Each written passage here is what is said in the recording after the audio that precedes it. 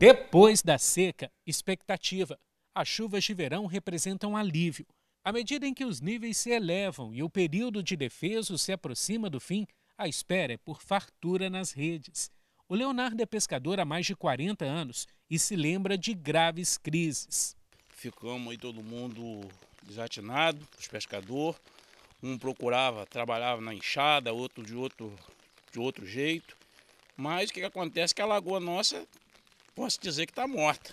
Não tem peixe, precisamos da cumatã, do robalo, do dourado, do camarão pitu, que de primeiro tinha na lagoa, hoje não tem mais nada, porque os canais estão todos soreados. O rio Paraíba do Sul é o principal afluente que garante a presença dos cardumes.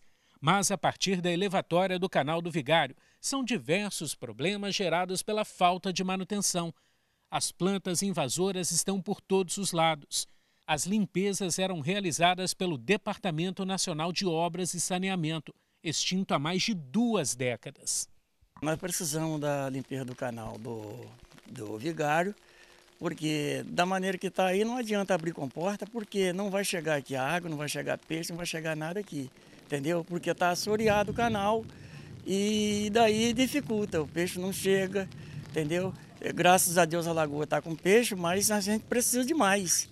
Ao longo das estações do ano, as cenas são típicas de um santuário ecológico, despertando interesse de estudiosos e pesquisadores. A Lagoa do Campelo é a principal fonte de renda para cerca de 60 famílias de pescadores.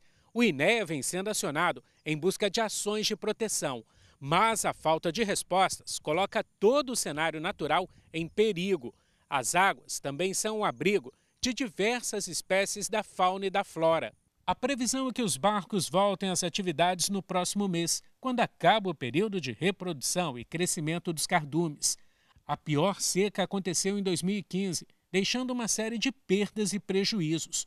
A profissão une gerações inteiras. Já, já teve peixe aqui nessa lagoa, já teve peixe muito bom aqui.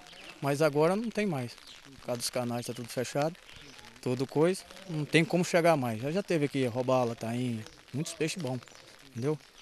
no momento. Mas agora não tem mais para nós.